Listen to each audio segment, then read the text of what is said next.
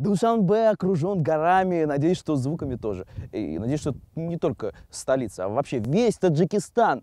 Друзья, меня зовут Руслан Фаршатов. Вы смотрите проект «Звуки всюду». Наше таджикское акустическое приключение начинается. Ассалам алейкум!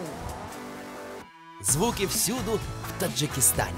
Только задумайтесь, это страна, которая на 93% состоит из гор. Таджикского название столицы Душанбе означает понедельник. Почему? Да потому что в глубокой древности, когда город еще был обычным кишлаком, здесь каждый понедельник был рыночным днем. Это место тогда так и называли – Душанбе Базар, то есть э, понедельничный рынок. Здесь каждое обыденное действие оборачивается чудесами. Пойдешь в Чайхану, попадешь во дворец. Пройдешься по площади, услышишь полифоническую арию незнакомых птиц. Возьмешь в руки камень, он превратится в узоры и цветы.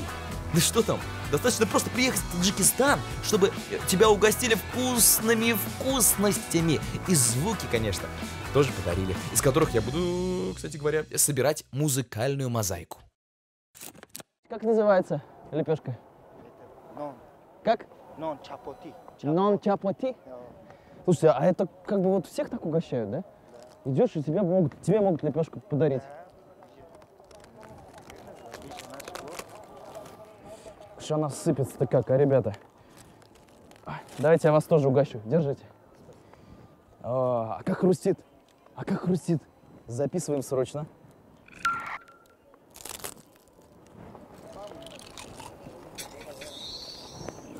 Ох уж этот замечательный момент, друзья, когда поиск звука совпадает с приготовлением еды.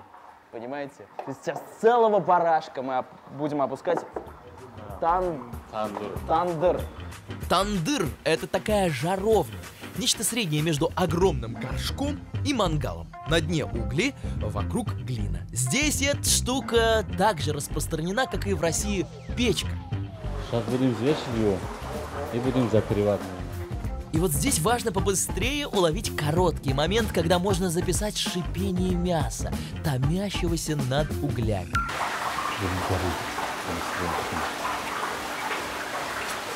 Побыстрее, потому что его немедленно нужно закрыть и полностью запечатать. Берем просто глину, Да, да. глину и замазываем всю эту историю аккуратно. Через полтора часа будет готовый. Итак, прошло у нас полтора часа. Всё, да. Ариф, сейчас мы должны открыть крышку.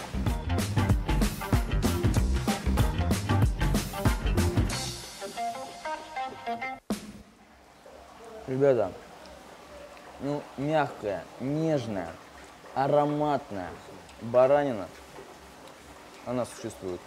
Она здесь, в Таджикистане. Понимаешь?